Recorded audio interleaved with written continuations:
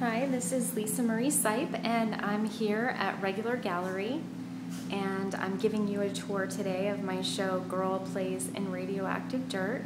Here, is, what we're looking at is the art statement for the show, as well as a picture titled Young Linda, and this is a picture of my Aunt Lynn. She was my godmother.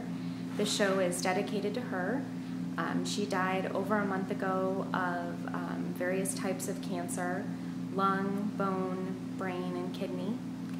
And the reason I titled the show Girl Plays in Radioactive Dirt is because when she was one, she lived in Las Vegas and she was 65 miles from where a nuclear bomb test uh, went off. And after that nuclear bomb went off, she played outside for the next year. So I am saying through this show maybe what happened to her, you know, all the cancer she had in her late uh, 50s was caused by the time when she was one and played outside in, in that radioactive dirt. So the next piece here that, um, that we're looking at is titled We're Rooting for You, Kid. Kind of references that playing outside with the pail. And these next pieces are all of bone cancer and they have a spine-like feel to them with the placement of the, the cut pieces of paper. This first piece is called radioactive injection. This one is tripping over one of the many cords. And the last piece of this little series of three is called Gamma Ray Sounds Like Something Out of Sci-Fi. And here is the title in the gallery for my show. And um, when I'm telling you about the titles for the show, um, I want to let you know that when my aunt was sick, we um, or her family used something called care pages, and the care pages were a place where the family could post what was happening with my aunt, and my aunt could post as well, and people could respond. It was great because they the family didn't have to call everybody they knew to keep them updated, um, but we could go anytime and, and look and see what the update was, and, and I found it to be pretty uh, addictive to keep going there because I was, you know, concerned about what was happening, and it was very touching to read all of the comments. So all of the show titles come from, or most, I should say, most of the show titles come from things that either my aunt said in the care pages or someone commented on those care pages. So we just looked at the front gallery, and I'm going to go into the back gallery. This piece here is cervical cancer, and it's titled The Tumor is Very Little.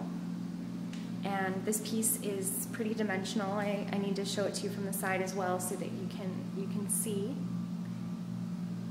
And this one is, is a fairly small piece. It's hard to tell because it's taking up most of the, the screen here, but it, it is the smallest piece in the show. This next piece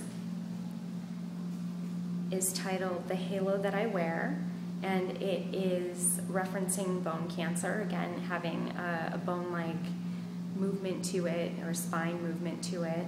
And the paper is really dimensional, so I want to come over to the side and, and show you um, how much it actually comes out from the, the canvas itself. And you can see all the shadows that it, it creates because it is so far away.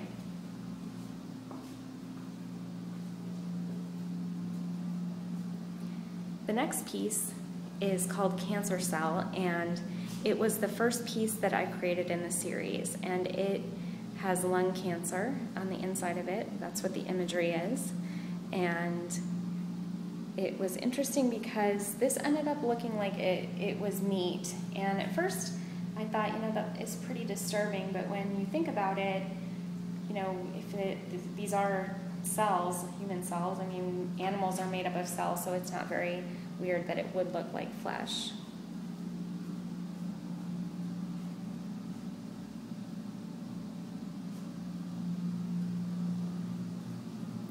This next piece is titled It Started with a Backache, and that's actually why my aunt went to the hospital, or not to the hospital, to the doctor, and that's where this all started, is because her back hurt, and she found out um, that she had all these different types of cancer. And I'd like to, to say here that in all of the pieces, I chose one, one image of that certain type of cancer. In this case, we're looking at bone cancer, and I used the same image over and over again throughout the whole piece. And I did this because cancer uh, duplicates. It, it, it, it moves and it grows, and I wanted to, to give that feel of something taking over and, and replicating, copying itself. And I chose in this piece and in a few other pieces to have everything the same color except for one element. And this was to reference that shift that happens. You know, when somebody gets cancer or they get sick, it, it has to start somewhere. One thing has to change and, and create the momentum into um, the illness. So that's why I choose to show one piece being a different color in several of the pieces just like I do in this one. And this one is called Boo, They Wouldn't Put on the Sirens for Me. And this is my favorite show title because I just thought it was so sweet and it shows my aunt's sense of humor that she wrote. You know, she was just so sad that the first time she finally got to ride in an ambulance, and because it wasn't an emergency situation, they wouldn't put the sirens on for her. So I, I really like that statement. And Here, I'll show this from the side so you can see the dimension of the piece. And this is bone cancer. The next piece is cervical cancer.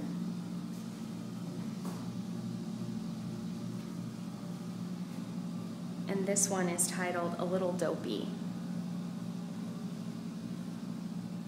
And the last piece in the show which is titled Size of a Pea, Top of the Brain. And the reason I titled it this is because that's what my aunt said when she was referring to her brain cancer. So this is imagery of a brain tumor.